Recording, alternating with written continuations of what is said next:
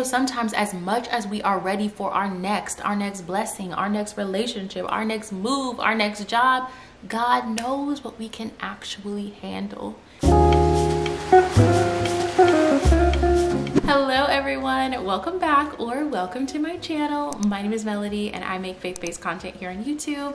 I post new videos every single Monday. So that's something you're interested in, definitely be sure and subscribe. I would love to have you join the family. So in today's video, we are going to be talking about the goodness of God and how sometimes the goodness of God and his faithfulness can look like delays, detours, or even the Lord taking us on the road less traveled. And I think it's important that we talk about this and unpack what these delays and detours can feel like, but also have the correct perspective on the character of the God that we serve. Oftentimes when we don't have the correct understanding or the correct perspective of God's character or even what he is working together as we are experiencing delays and detours, we can have the tendency to be like, all right, God, this is taking too long. Let me go ahead and take matters into my own hands. And that is where we start getting into murky water. That is where we start allowing sin or feeling like we know best to enter into our lives and our hearts. And so my hope with this video, as we unpack this specific text in Exodus chapter 13, specifically it is Exodus chapter 13,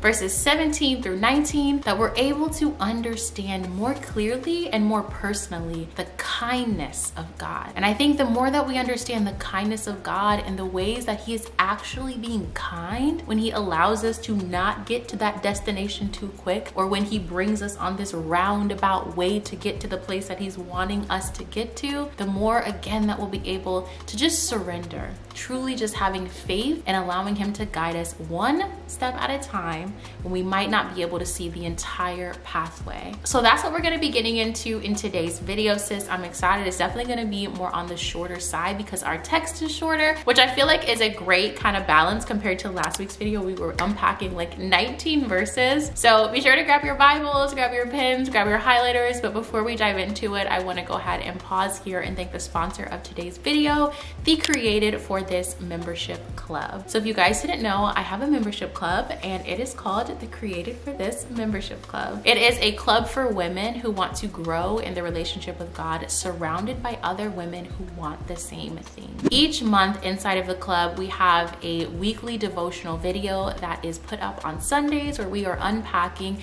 a different woman in the Bible and her story each and every week. We also have monthly Bible studies where we do a live Bible study call, going through the SOAP method, unpacking the text, sharing our applications and our observations. We also have a monthly prayer call and a live Q&A. These are opportunities for the sisterhood to come together, for you to put faces to names that you're chatting with in our private group chat.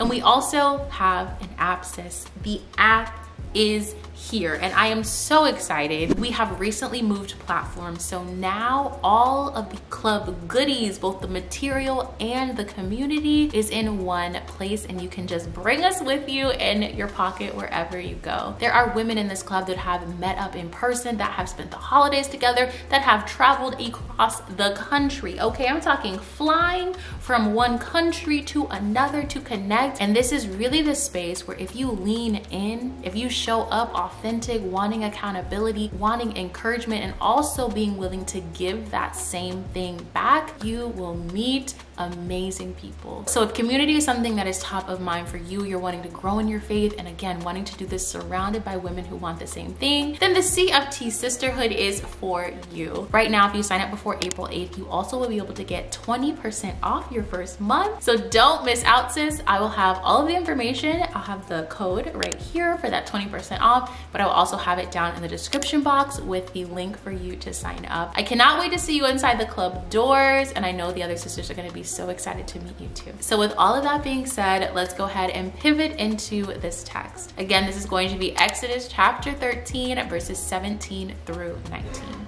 And it says, When Pharaoh let the people go, God did not lead them along the road to the land of the Philistines, even though it was nearby. For God said, The people will change their minds and return to Egypt if they face war. So he led the people around towards the Red Sea along the road of the wilderness and the Israelites left the land of Egypt in battle formation. Moses took the bones of Joseph with him because Joseph had made the Israelites swear a solemn oath saying, God will certainly come to your aid. Then you must take my bones with you from this place. All right, sis, let's unpack this text. Let's talk about some truths that we can pull out and hold into our own hearts as we are navigating our own delays and our own detours with the Lord. So, the first thing that truly stands out to me is the fact that God knew the Israelites better than the Israelites knew the Israelites. So as the Israelites are finally, okay, finally coming out of Egypt, they have been enslaved for hundreds of years and they are freshly, freshly free people, right? And God knew at this state, their emotions, right? Maybe physically, they can handle the task of going to war, which we can see in verse, what is it? Verse 18 at the end of it, it says that they left in battle formation. So physically, they might have been ready to go to war, but mentally, spiritually, the Lord knew. And that's why he says in verse 17, I'm gonna go ahead and pop it up on the screen right now. The Lord said, the people will change their minds and return to Egypt if they face war. So God knew them better than they knew themselves. And I feel like this is a truth that we have to hold on to as we are navigating our own walks with the Lord that sometimes the no, sometimes the delay, sometimes the not right now is for our own good because God knows we are not ready. He knows, okay, physically she might be there, mentally, mm-mm, we still got some work to do. Or maybe mentally and physically she might be there, but spiritually, oh no, my daughter needs a little bit more time with me, a little bit on this road less traveled. And the reason why I call this particular verse out is because God knew that if I send them into this battle too soon, they will want to return to bondage. And that's the second thing that we have to remember that yes, the Israelites were free finally from bondage in Egypt, but the Egypt was not out of them yet. There is a work that has to be done on the inside of us that only God can truly do to free us internally from some of the physical bondage that we have experienced in life. And just like the Israelites were physically in bondage, there was still some mental bondage that he needed to work out of them. And how often is that us, sis? We might be ready to get to that next place, the job, the relationship, moving across the country, the new season, the new blessing. But are we actually actually operating in the fullness of the freedom that Christ died on the cross for us to experience? Or are we still holding on to some of the things that we have been through? I know for myself, it has definitely been a journey to actually be free from some of the things that I've been through. It's easy to hold on to things, and sometimes it's not until we're on the detour and we're on that delay and we're walking with the Lord and like, okay, God, why is this taking so long? That He highlights how the Egypt isn't truly out of us yet. And that leads me to the third truth here that we can hold into our hearts that it was going to take longer for God to fulfill this promise because He wasn't taking them on this direct route, but again, it was for their good and ultimately for His glory.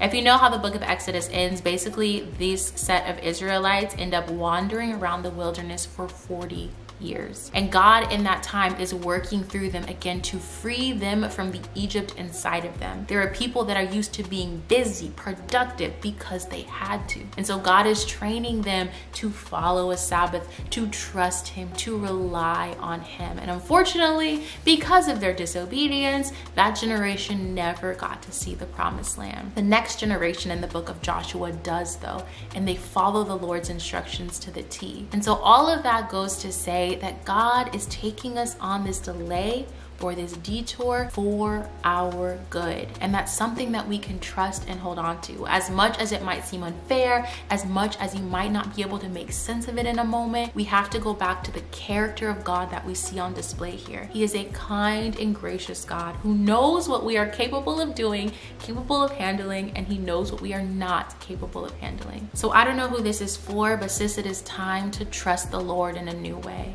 It is time to trust his timing, and more than that, to trust his goodness. That his no, that his not right now is not because he's mean or mad at you, but because he has your best interest in mind. And this also is the opportunity for us to go to the Lord and ask him, Lord, search me. Where am I carrying around bondage that you want me to be free from. We don't want to be like the Israelites who the Lord actually removed from their oppression and removed from bondage, but were carrying it around and that impacted how they related to the Lord and in their walk with Him. This bondage was a hindrance to them truly trusting the Lord, His goodness, His timing, and His instructions. And so let this just be that reminder that we need that we serve a good and kind God who is patient but also just, okay? Who is kind but also has standards and wants us to operate in a specific way, meaning he wants us to be obedient to him. So that's all I've got for you today, sis. These are truths that I've been holding in my own heart as I've been walking out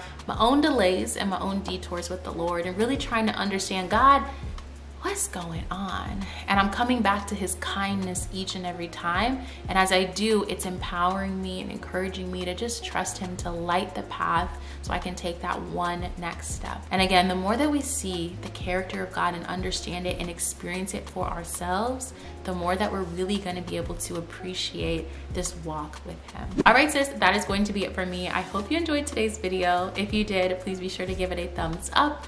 And one more time, thank you so much to the Created For this membership club, my membership club, for sponsoring this video. Again, you can sign up using this code right here and it will also be linked down in the description box and get 20% off your first month. All right, now with all of that being said, of course, sis, it is now your turn. So in the comments below, I would love to know, what is a character attribute of God that you go back to and hold on to when you are walking through your own delays and detours? I think the more that we all can share who God truly is, not only just factually, right? Like who we see him be in the Bible, but also who he has been to us, the more that we be able to see just all the different facets of this God that we serve. So definitely take a second, drop your response down below. I'll be sure to drop mine and then take a scroll on through. As always, I love you guys and I will see you in my next video.